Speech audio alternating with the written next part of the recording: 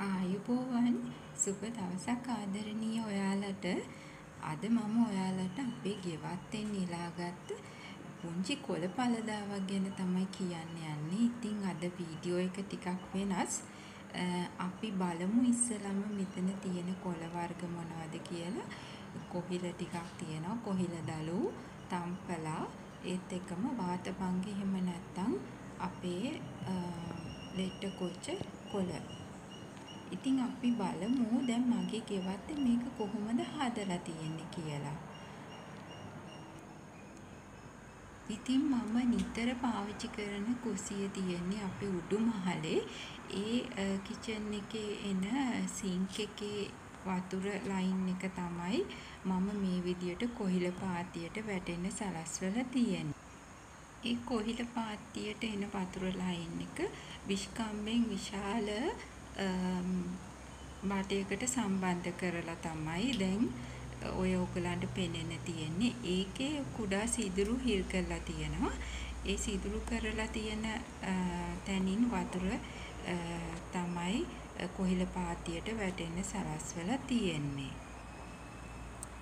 දැන් ඔයාලට පෙනෙයි ඕකට වතුර වැටෙන විදිය. මේ බලන්න මේ සිදුරු වලින් මේ ඉඳුල් වතුර සේරම මේ කොහිල පාත්තියට වැටෙනවා.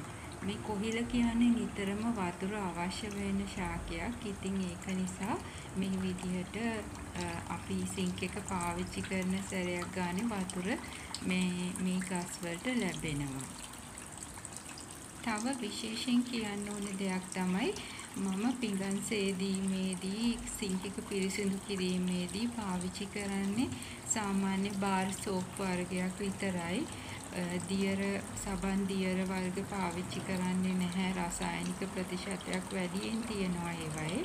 ඉතින් මං කවදාවත් ඒවා පාවිච්චි කරන්නේ නැහැ. ඒ නිසා මේ කොහිල පාත්තියට ඒ කිසි දෙයක් වැටෙන්නේ නැහැ. දැන් ඊට පස්සේ බලමු අපි කුස්සියේ වැඩවලට නිතර අපිට ප්‍රයෝජනවත් වෙන දේවල් ටිකක්. දැන් මේ කොහිල ටිකක් කැපුවට පස්සේ අපේ සමහර වෙලාවට අත කැසීම් එකකට ලක් වෙනවා. ඒ වෙලාවට අපි පොල් කුඩු ටල්පයකින් අත ටිකක් තවරා ගත්තාම පිරිසිදු කරගත්තාම ඒක නැති වෙනවා. ඉතින් දැන් ඔයාලා මේ දකින්නේ මම හදාගත්ත කොහිල වෑංජනය සහ වාතභංග කොළ මැල්ලුම. ඉතින් දැන් බලමු අපි ගෑස් එක පරිහරණය කරන විදිය ගෑස් පරිභෝජනය අවම වෙන විදියට. දැන් මේ ඔයගොල්ලෝ දකින්නේ මම පරිප්පු ව්‍යංජනයක් හදන විදිය. මේකට මිරිස් කහ ලුණු දාලා ඒක තම්බලා අපි වෙනම තියාගන්න පුළුවන්.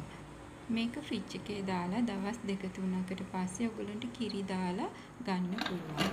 දැන් මම මේ පෙන්වන්න යන්නේ ප්‍රෙෂර් කුකර් එකේ බත් එකක් උයා ගන්න විදිය. ඇත්තටම විනාඩි 5කින් ඔයගොල්ලන්ට බත් එකක් උයා ගන්න හරිම ඉක්මනට පුළුවන්. මේක අපි බලමු කොහොමද කරන්නේ කියලා. බලන්න මේ බත් එක කිව්වට පස්සේ හොඳින් යට වෙන් වෙලා හොඳටම තියෙනවා. රයිස් කුකර් එකට වැඩිය ඉක්මනට මේකේ අපිට බත් එක උයා ගන්න පුළුවන්. මුලින්ම මම මේකට හාල් කෝප්ප දෙකක් වතුර කෝප්ප දෙකක් සමග යොදාගෙන තියෙනවා. ඒක හොඳින් වහලා ප්‍රෙෂර් කුකර් එක විනාඩි 5ක් ඇතුළත අපි බලමු හාල් එක තම්බ ගන්න විදිහ.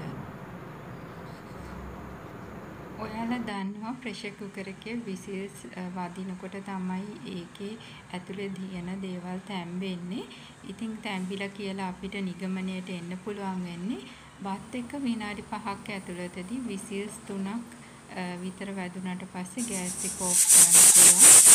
අද වීඩියෝ එක හොඳයි කියලා හිතනවා නම් ඔයගොල්ලෝ කමෙන්ට් කරන්න. ඉතින් එහෙනම් ගිහින් එන්න සුබ දවසක්.